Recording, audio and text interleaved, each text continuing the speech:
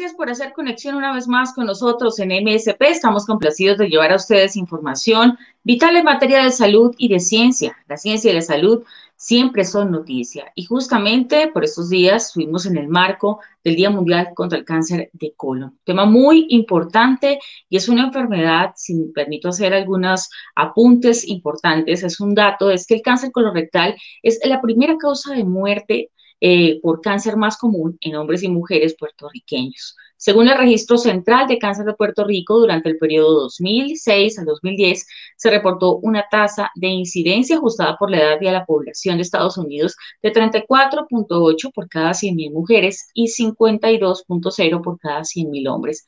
De acuerdo a las tasas de incidencia de dicho periodo, el 4.9% de los hombres y las mujeres que nazcan hoy en Puerto Rico tendrán un diagnóstico de cáncer colorectal en algún momento de su vida. Eso es bastante preocupante. El cáncer colorectal representa un problema de salud pública apremiante y justamente para hablar acerca de esta enfermedad y no solamente concentrarnos en cómo ocurre, que ya lo hemos hecho en otras oportunidades, es también en las opciones de tratamiento que existen para todas aquellas personas que lo están padeciendo. Invitamos a una profesional en la materia y le vamos a dar la bienvenida para que aporte a esta conversación y por supuesto aclare todas las dudas. La doctora Norixa Rivera, hematóloga oncóloga, y le damos la bienvenida a MSP. Agradecemos, doctora, su tiempo por estar con nosotros. Bienvenida. Muchas gracias a todos ustedes por tenerme aquí ¿verdad? Para, para continuar educando a la población.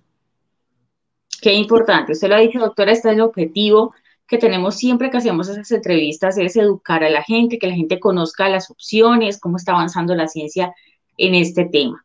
Justamente, doctora, cómo quisiera comenzar por allí, ¿no? Preguntándole cómo ve el panorama de la enfermedad de cáncer colorectal en la actualidad. Digamos, em, no solamente en Puerto Rico, pues quizás en, en América Latina, en la región, ¿cómo está la incidencia de la enfermedad?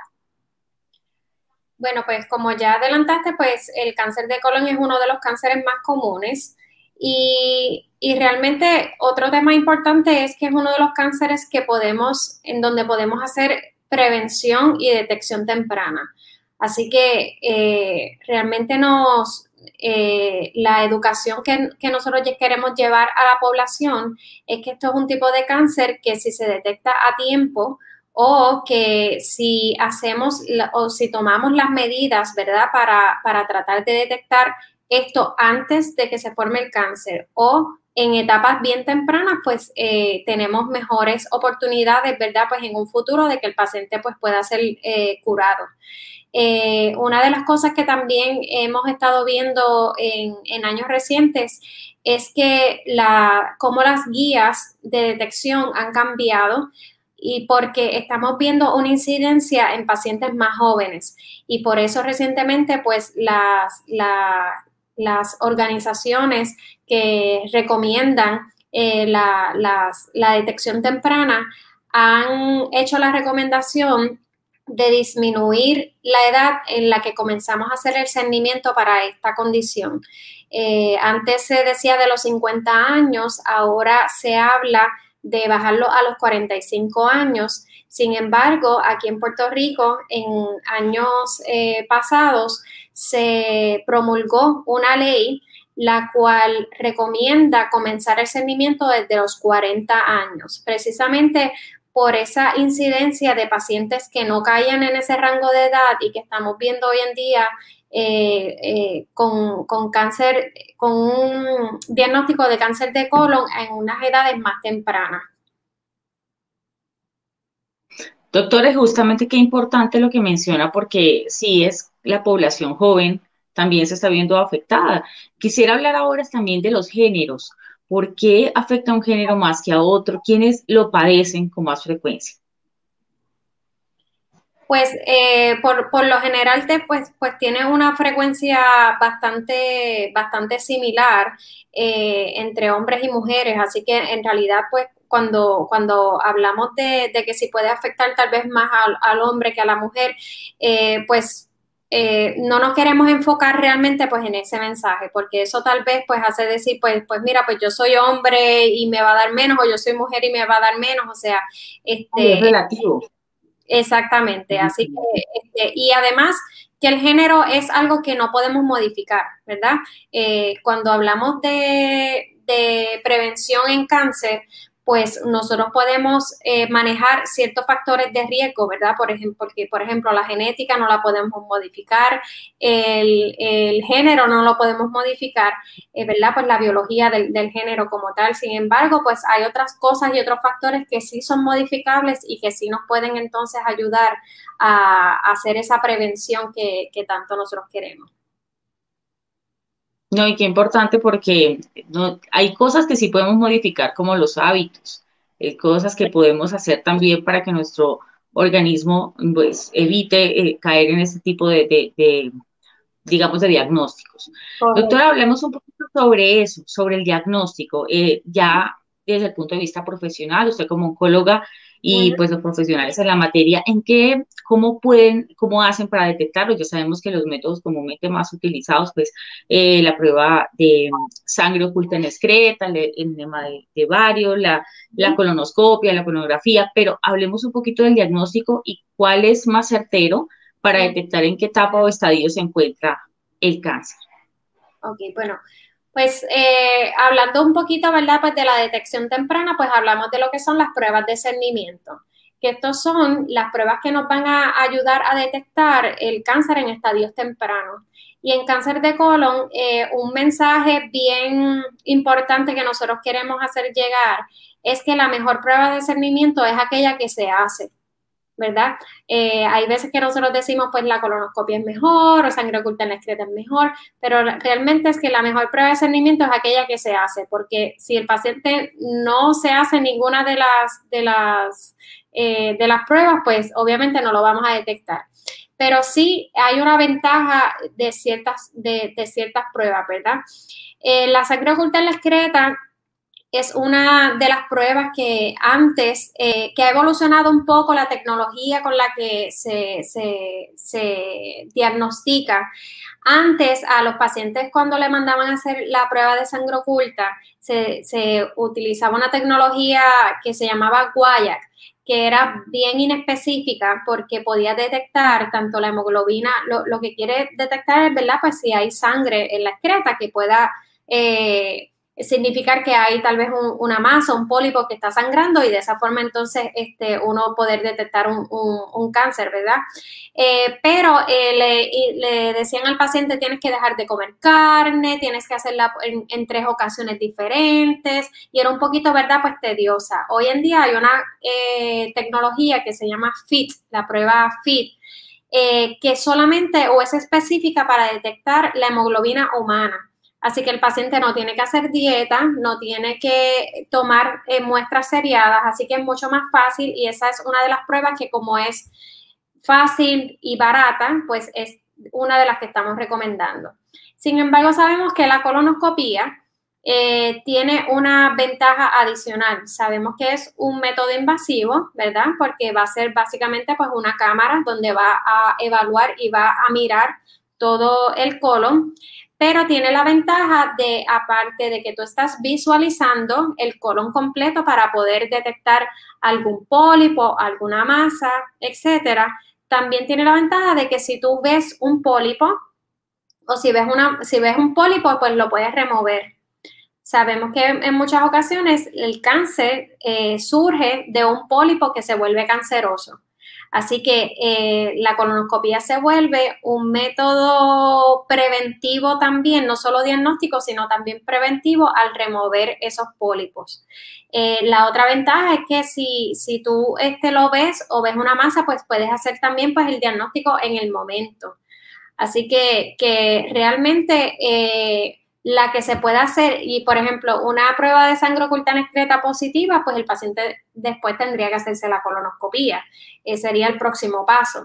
Ah, así que eh, hay, hay, tanto los métodos invasivos como los no invasivos que se, que se están recomendando. También hay otra prueba que es un poquito más costosa, pero es una prueba relativamente nueva que se llama Cologuard. Hay una compañía, ¿verdad?, que se llama Cologuard que detecta la excreta eh, DNA de tumor que entonces en, en, ese caso es similar a una prueba eh, de la sangre oculta, ¿verdad? Pues es una prueba discreta. E inclusive hay unos kits donde lo puedes hacer desde la comodidad de tu casa. No tienes que, este, no tienes que ir a un laboratorio, que a veces ¿verdad? Pues estos temas a veces son como que un poquito tabú de nosotros llevar la prueba, la discreta al laboratorio, etcétera. Pues esta compañía pues provee los kits este, donde tú lo puedes hacer desde la comodidad de tu casa, tiene todas las instrucciones y tú lo envías a la compañía para evaluarlo. Así que hay diferentes alternativas. Eh, básicamente pues decimos que no hay excusa, ¿verdad? Pues para, para llevar a cabo alguna de estas pruebas. Digamos que todo dependerá también de los síntomas que tenga el paciente, quizás lo que esté presentando para recomendarle una prueba u otra y puedes ir descartando cuál es más efectiva, ¿sí? En este caso. Bueno, recuerda que cuando hacemos cernimiento no estamos buscando síntomas, ¿verdad? Porque si ya el paciente tiene síntomas, estamos sospechando de que hay algo que está pasando. Así que realmente ideal es que nosotros comencemos el seguimiento con pacientes este, con diferentes factores de riesgo, ya sea por, por ejemplo, pues por la edad, sería el primer factor de riesgo, donde nosotros queremos coger idealmente esa población entre 40 y 45 años y comenzar a hacer ese seguimiento cuando el paciente esté asintomático, que no hay ningún indicio de que esté pasando nada, porque ese es el, el paciente que posiblemente podemos detectar en un nivel de que a lo mejor se forma un pólipo y no 10 años después cuando ese pólipo pues se volvió canceroso. Eh, si el paciente ya tiene síntomas y qué síntomas entonces puede eh, eh, eh, comenzar a, presentar. Ah, ah, o, qué paciente entonces es el que yo debo hacer una evaluación porque tal vez sospecho un cáncer de colon. Eh, a, veces cambios en los hábitos eh, de, de, movimiento de los intestinos, por ejemplo, un paciente que toda la vida defecaba todos los días sin problemas y que de repente tenga un estreñimiento, que no es normal, eh, que es nuevo, completamente nuevo. Eso acompañado tal vez de dolor abdominal, de que se le infla el abdomen, ¿verdad? O distensión del abdomen, eh, de que está perdiendo peso sin estar a dieta, este, de que pierde el apetito, ¿verdad? Pues eso son cositas que ya nos van dando un indicio de que algo está pasando. Otra cosa bien que esto es lo que nos enseñan, ¿verdad? Pues en los libros en, la escuela de medicina, es, por ejemplo, un hombre eh, que tenga anemia, ¿verdad? Cuando le hacen eh, la prueba de, de, su CBC para ver su contagio de sanguíneo, que podamos ver que esa hemoglobina ha bajado y que hay una pérdida o que esa, o que esa anemia se deba a deficiencia de hierro. Los hombres, por lo general, como no tienen menstruaciones, ellos no pierden hierro, así que una anemia por deficiencia de hierro es bien sugestivo, ¿verdad? Pues de algún problema gastrointestinal que en muchas ocasiones pues podría ser este, un pólipo canceroso o un cáncer de colon. Así que ese sería otro de los indicios. Y de igual forma las mujeres eh, posmenopáusicas que ya no están sangrando y que de repente entonces pues tienen una anemia de, por deficiencia de hierro, pues también es algo que tenemos que, evaluar eh, y que puede ser, ¿verdad? Pues subjetivo también de lo mismo. Que gracias al autor también por, por darnos esa, esa salvedad tan importante, ¿no? Hay personas que no presentan síntomas.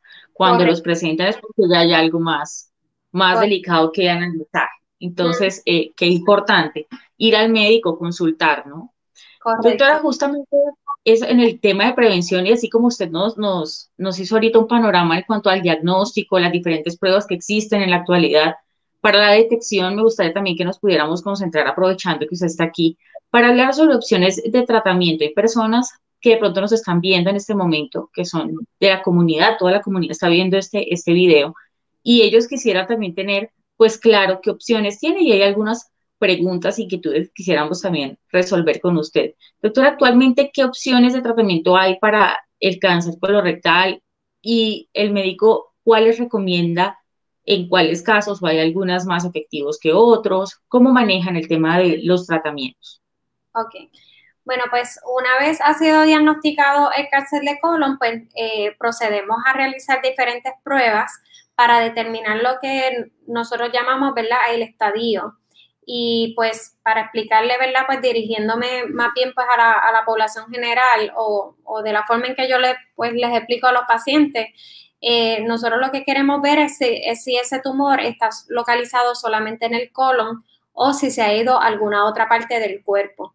Así que entonces sometemos al paciente a diferentes estudios de imágenes que pueden ser pues una tomografía, eh, en ocasiones también un PET scan, donde podemos evaluar, ¿verdad?, los diferentes órganos del cuerpo para, para tratar de determinar si ese tumor solamente está localizado en el colon o hay alguna otra parte afectada.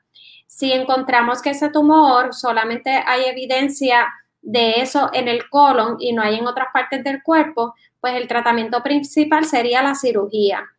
Esto es un cáncer que puede ser potencialmente curable con la cirugía si esas células cancerosas no se han ido a otras partes del cuerpo. En ese momento, pues eh, lo que se hace es que se remueve esa parte del colon que está afectada con el tumor y se remueven los nódulos linfáticos que están más cerca de esa parte del colon afectada. ¿Por qué? Porque una de las primeras vías de escape que tienen las células cancerosas son a través de los nódulos linfáticos. Así que se hace una muestra de esos nódulos linfáticos para examinarlos y ver si hay presencia de células cancerosas ya en esos nódulos. De esos nódulos salir este, sin afectación y no haber en ninguna otra parte del cuerpo, pues es posible que ese paciente esté curado o no necesite más tratamiento.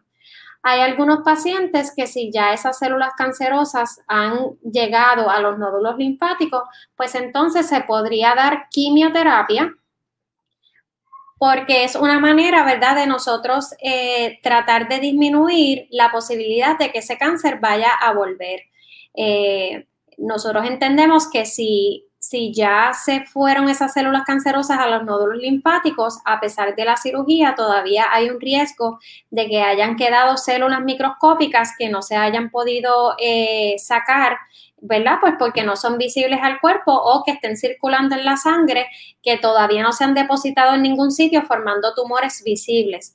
Así que entonces damos quimioterapia que llamamos quimioterapia adyuvante porque es luego de la cirugía de manera preventiva para disminuir ese riesgo de recurrencia. Ya en un paciente que tiene, si hay evidencia de metástasis o si eventualmente el paciente que se operó ese cáncer vuelve a, resurgir, pues entonces las opciones eh, serían, ¿verdad? Pues tratamiento sistémico o quimioterapia. Pero hoy en día también hay otras opciones de tratamiento para pacientes eh, que eso requiere, ¿verdad? Pues evaluaciones adicionales eh, por ejemplo, evaluaciones de, mutaciones en el tumor, evaluaciones genéticas, evaluaciones eh, para ver si el paciente tiene un tumor que tal vez responde a unos tratamientos que se llaman inmunoterapia, que hoy en día también se están utilizando y es una de las cosas nuevas que, estamos viendo en el mundo de la oncología y en, el, y en el setting, ¿verdad?, de cáncer de colon también, de que hay ciertos pacientes que podemos dar unos tratamientos que no son quimioterapias, sino que son tratamientos dirigidos al sistema inmunológico para que sea el sistema inmunológico el que ataque las células cancerosas. Eh, así que esos son, ¿verdad? Pues parte de los, de los adelantos novedosos que tenemos en, en la oncología y que también lo estamos utilizando en cáncer de colon. Qué importante. Muchas gracias, doctora, por aclararnos eso. Y pues hay algunas dudas que surgen en torno al tema de tratamientos me gustaría preguntarle acerca de los riesgos o efectos secundarios que puedan tener en algunos casos y los pacientes preguntan qué, qué pueden hacer para reducir, digamos, esos efectos secundarios en, su tratamiento. ¿Hay alguna sugerencia desde el punto de vista profesional? Bueno, eh, todo tratamiento, ¿verdad? Pues conlleva unos efectos secundarios hay muchos pacientes que pues tal vez le temen a esos efectos secundarios, pero nosotros entendemos que después de una conversación con ellos y explicarle, ¿verdad? Todos los riesgos y, los beneficios, pues eh, el beneficio de la quimioterapia pues siempre eh, predomina en muchas ocasiones al riesgo que pueda tener de los efectos secundarios. Eh, en estas, dentro de las terapias que nosotros damos para cáncer de colon, pues pueden haber efectos secundarios que incluyen pues eh, náuseas, vómitos, diarreas, eh, todos esos efectos secundarios pueden tener, ¿verdad? Pues sus soluciones de manera preventiva, de, de, forma, ¿verdad? De, de, otros medicamentos que nos pueden ayudar a aliviar esos síntomas.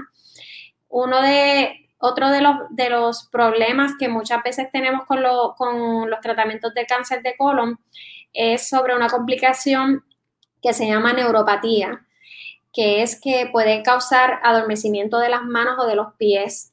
Esto es bastante frecuente en los pacientes y en ocasiones pues puede eh, afectar, ¿verdad? Pues la calidad de vida de los pacientes, sobre todo en pacientes que tal vez dependen de sus manos, para, por ejemplo, una persona que, digamos, por ejemplo, un dentista un músico eh, que dependen, ¿verdad? Pues de un mecánico, por ejemplo, que dependa del trabajo de sus manos, pues estos efectos secundarios sabemos que pueden afectar eh, lo que es su trabajo, lo que es su diario vivir. Eh, así que, que esas son cosas que nosotros como médicos tenemos que monitorear y trabajar con el paciente y en, eso es bien importante pues tanto la educación como la conversación que tú puedas tener, ese rapport que tú establezcas con el paciente para que puedas detectar todas estas cosas a tiempo, porque a tiempo, ¿verdad? Pues tienen solución. Eh, algo bien importante es que los pacientes, uno les habla de todos los efectos secundarios que pueden ocurrir. Esto no quiere decir que les va a ocurrir todos. Esto eh, es, es, unas posibilidades. Eh, y pues siempre es bien importante, pues nosotros educar al paciente a, que converse, ¿verdad? Pues todas estas cosas con los médicos, porque eh, a, veces los miedos, pues, eh, pueden, pueden tener, afectarlos grandemente y entonces, pues, no querer enfrentar el, tratamiento por miedo a los efectos secundarios, pero eh, para eso, pues, nosotros son cosas que en muchas ocasiones son esperadas y que podemos trabajarlas, ¿verdad? Si, si las identificamos a tiempo. Sí, esa es justamente una de las principales inquietudes, quizás, de las personas que se someten a estos tratamientos, es si eso los va a afectar en sus actividades diarias, si pueden continuar con su trabajo tiempo completo. Eh, quizás es, todo dependerá de, del organismo de cada persona, cómo responda a esos, a esos tratamientos. Doctora, una, una, pregunta también relacionada con las inquietudes de la gente es que, ¿cómo sabe una persona, o, y también, pues, desde luego el especialista, que un tratamiento está funcionando? ¿Cómo puede, saber eso? Y digamos, ¿cuáles serían las probabilidades de que un cáncer recurra después de esos planes de tratamiento? ¿O eso depende del porcentaje? Ajá. Bueno, este, nosotros eh, tenemos diferentes maneras de, evaluar, ¿verdad? Pues si el, tratamiento está funcionando o no. Cuando nosotros damos tratamiento, por ejemplo, de forma preventiva, ¿verdad? Este, por ejemplo, este paciente que se operó, pero que a lo mejor en la opera y que cuando le hacemos los estudios de imágenes no encontramos ningún tipo de, de tumor fuera del área del colon o de los nódulos linfáticos y yo le voy a dar un tratamiento preventivo, ¿verdad? Eh, por ejemplo, un paciente estadio 3, que el tratamiento se, da de manera preventiva. En ese paciente, pues yo le explico que la quimioterapia, que, que yo no tengo forma de evaluar si la quimioterapia fue efectiva para esa célula microscópica, ¿verdad? Porque estoy este, tratando de manera preventiva. Así que es importante que en ese paciente explicarle que vamos, que luego de completar el tratamiento, lo que se va a someter es a unos, a una serie de cernimiento y de vigilancia activa con estudios de imágenes, laboratorios, para estar seguros de que el cáncer no vuelva. Ya en un paciente donde tiene enfermedad más avanzada, en donde estamos tratando tal vez alguna metástasis, algún tumor que no se puede remover por X o por Y razón, pues entonces eh, tenemos eh, varias formas de evaluar la respuesta. La, forma principal es por los estudios de imágenes, eh, ya sea pues por tomografías o por MRI o por PET scan, en donde cada cierto tiempo y luego de los tratamientos se someten a estos estudios para nosotros ver si hay disminución de, de, la enfermedad, ¿verdad? Pues si el tumor, por ejemplo, se volvió más pequeño, si el tumor se ha quedado estable, que esto es que se quede del mismo tamaño, porque yo siempre les, les explico a los pacientes que una de las metas que nosotros tenemos es que ese cáncer tampoco empeore. Así que si, el, si ese cáncer con el tratamiento no crece, aunque se quede ahí, pues también es una buena respuesta porque no está empeorando, porque yo sé que si no le doy tratamiento, pues va a crecer y se va a multiplicar y van a aparecer inclusive más tumores. Así que la meta es que se quede igual o que disminuya de tamaño o que, o que incluso pues desaparezcan esas lesiones. Así que el, el, estudio de imagen es una de, de las maneras. Otra de las maneras que nosotros tenemos es que en ocasiones estos tumores pueden secretar unas proteínas a la sangre que nosotros llamamos marcadores tumorales. Por ejemplo, hay un estudio de sangre que se llama el CEA, que es en inglés el Carcino Embryonic Antigen. Hay otra serie de marcadores que pudiesen estar elevados en cáncer de colon que nosotros lo podemos detectar en la sangre.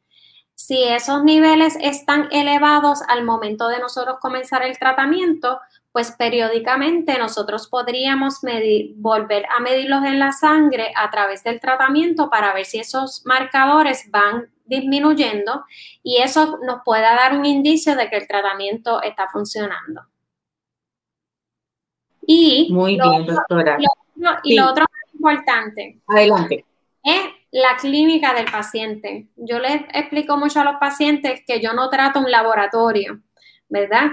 Yo trato al paciente y si el paciente, y entonces tú empiezas a ver que a pesar de los efectos secundarios, pues a lo mejor el paciente su dolor se va disminuyendo, eh, de repente te dice ya no estoy utilizando medicinas para el dolor, eh, doctora ahora tengo más apetito, estoy ganando peso, Todas esas cosas, este, eh, por ejemplo, si antes tenía dificultad para evacuar y ahora pues está yendo más normal al baño, o sea, todas esas son indicios de que el tratamiento está funcionando, que el paciente de repente tiene más energía para hacer sus cosas. Eh, así que la clínica también es, una de las cosas más importantes que para, para yo decir, ¿verdad? Pues si el tratamiento está funcionando. Claro, y el estado de ánimo del paciente cambia automáticamente. Primero porque está bien asesorado, porque sabe que lo están monitoreando constantemente y, y, ahorita vamos a tocar el tema del estado de ánimo porque eso es bien importante a cualquier paciente oncológico. Doctora, en el punto de vista de la alimentación, ¿hay alguna dieta especial, alguna recomendación desde el punto de vista oncológico que hacen a estos pacientes que sufren cáncer colorectal que no puedan comer o quizás algunas restricciones algunos alimentos? Bueno, esa siempre es la pregunta de, los 64 mil chavitos, como decimos aquí en Puerto Rico, pero este, pues hay diferentes recomendaciones para diferentes cosas. Eh, por ejemplo, eh, está la, recomendación de, de, la alimentación este, para la prevención del cáncer, ¿verdad? En un paciente que no tiene cáncer, pues mira, pues este, qué cosas tal vez están asociadas a cáncer de, colon. Y se sabe, ¿verdad? Pues que en cáncer de colon como tal, el exceso, estoy diciendo el exceso, no estoy diciendo de que no se puede, el exceso de consumo de carnes rojas, este, y de alimentos altamente procesados, como lo son los embutidos, por ejemplo, eh, se ha visto un y, de eh, eh, alimentos eh, con alto contenido graso, ¿verdad? Pues se ha visto que puede aumentar el riesgo de cáncer de colon. ¿Qué cosas pueden disminuir el riesgo de cáncer de colon? Pues frutas, vegetales, los, los granos enteros, este, las fibras, el consumo de fibras, así que todas esas cosas también se ha visto que disminuye la posibilidad de cáncer de, colon, así que esas son de las cosas que podemos hacer en, términos de la prevención. En términos de un paciente que ya tiene el, cáncer, que te pregunta, ¿verdad? Pues qué doctora, qué debo comer o, qué puedo o qué no puedo comer. La realidad es que eh, yo siempre les, digo que tienen que tener una dieta balanceada. Eh, no es que tengan una restricción en particular porque ahora tengo cáncer y no puedo comer esto y lo otro. Igual lo de la restricción de las carnes rojas, o sea, siempre todo es un balance. No es que no puedan consumir carnes rojas, pero el exceso de estas carnes es, lo que, ¿verdad? Pues puede empeorar tal vez su condición. Y pues las recomendaciones en realidad pues son bien individualizadas. Yo, hay muchos pacientes que cuando tienen el cáncer, entonces quieren hacer una dieta bien limpia, este, quieren este, consumir muchas vegetales y quieren consumir todo en porciones y entonces comienzan a bajar de peso eh, durante el tratamiento. Y en muchas ocasiones tenemos que decirles como que, mira, necesitas consumir más calorías porque ya por el tratamiento a lo mejor le puede causar las náuseas, los vómitos, la pérdida del apetito. Más entonces si te ponen muy estrictos con una dieta de que lo que quieren comer son sopas eh, o caldos, ¿verdad? Que entonces no contienen muchas calorías, pues entonces van a bajar más de peso y eso puede ser, ¿verdad? Pues hasta cierto punto contraproducente. Así que dieta balanceada este, no hay una restricción como tal de que no debas consumir esto o lo otro. Y en ocasiones, mientras están en tratamiento y si no quieren comer y se les antoja, ¿verdad? Pues un, en Puerto Rico a nosotros nos encantan las alcapurrias, si se les antoja una alcapurria, pues no se la vamos a negar tampoco. Este, ¿Verdad? Pues claro.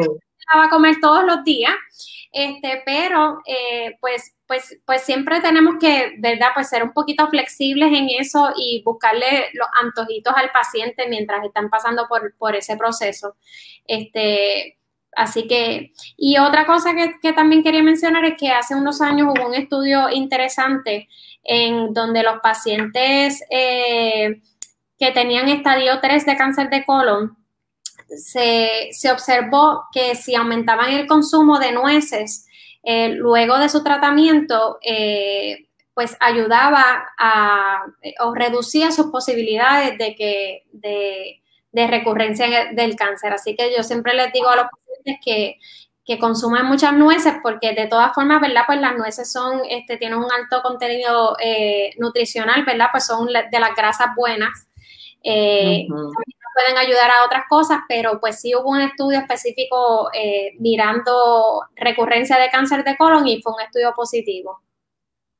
Qué interesante el tema de las nueces. Hay que profundizar más en eso porque puede, puede, ser muy llamativo, ¿no? Y a quien no le gustan, son deliciosas. En cuanto al tema, doctora, de actividad física, hay algunos pacientes que preguntan, ¿puedo hacer actividad normalmente? Eh, ¿Cuánto puedo hacer ejercicio? ¿Cuál es el ritmo que debo llevar? ¿Con qué frecuencia? Sobre el tema actividad física. La actividad física ha sido evaluada tanto para prevención como para en pacientes, ¿verdad? Pues que ya tienen el cáncer y se ha visto, ¿verdad? Que, eh, que eh, el ejercicio es una manera eh, preventiva, no solamente para cáncer de colon, sino para otros tipos de cáncer y también pues para la enfermedad cardiovascular. Eh, así que yo siempre le digo a los pacientes que de nada sirve de que tratemos de prevenir el cáncer y nos olvidemos del corazón.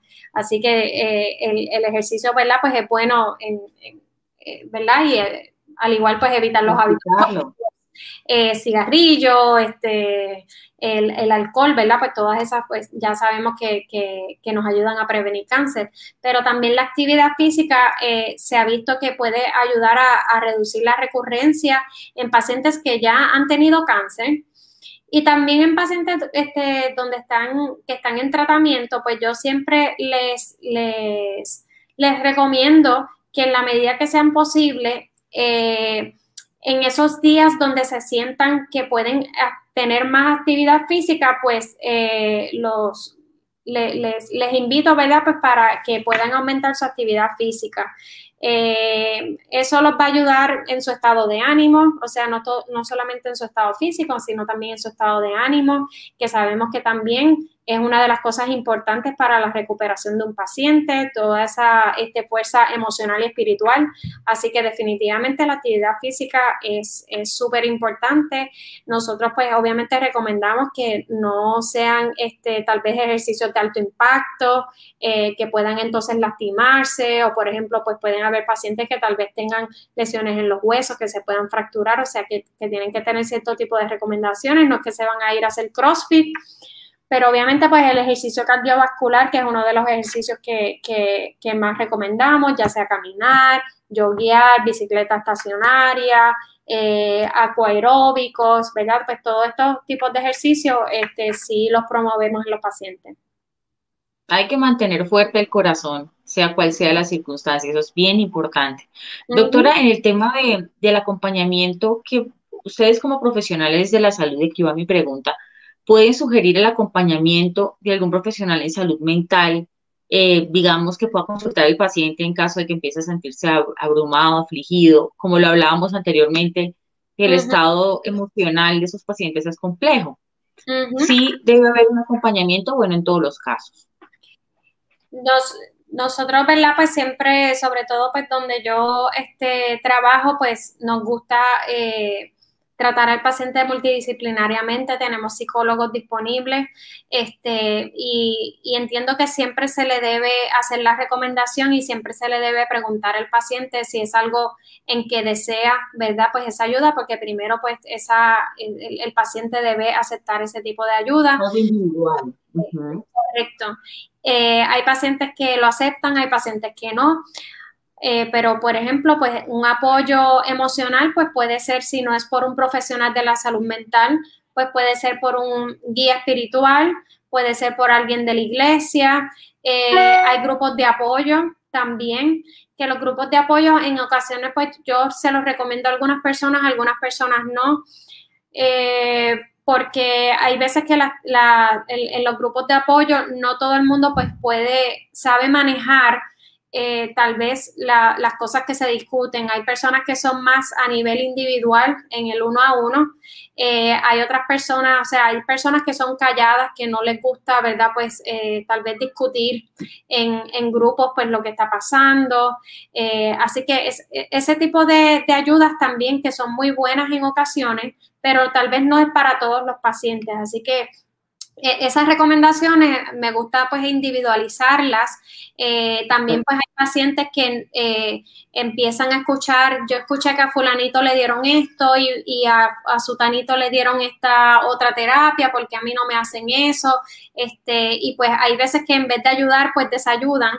Así que eh, ese, de cosas, me gusta tal vez individualizar, ver tal vez cuál es la dinámica del paciente, preguntarle, ¿te gustaría participar de grupos de apoyo? Esta tal vez te haga falta, eh, tal vez ayuda espiritual, eh, tal vez en la iglesia.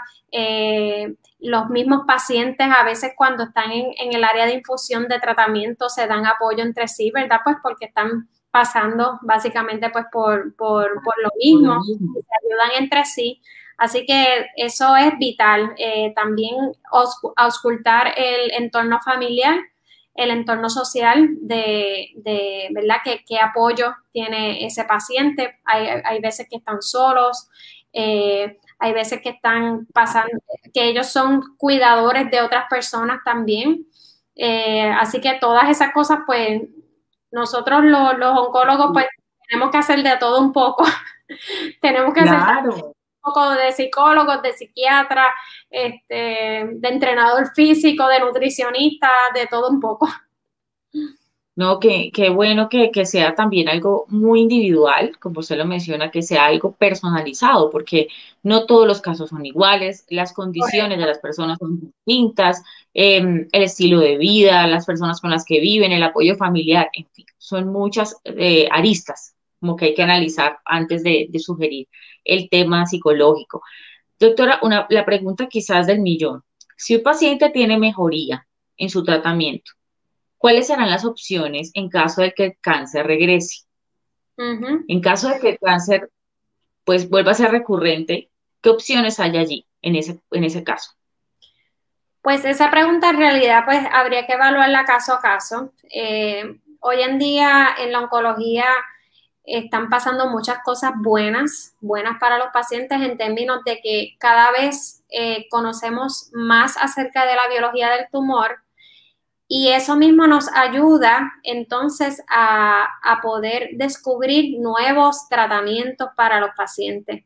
Eh, por eso también pues la importancia de, de los estudios clínicos, por ejemplo, donde está evaluando terapias nuevas, terapias que, tal vez eh, puedan ser más personalizadas o más dirigidas a pacientes de acuerdo a las características específicas de su tumor.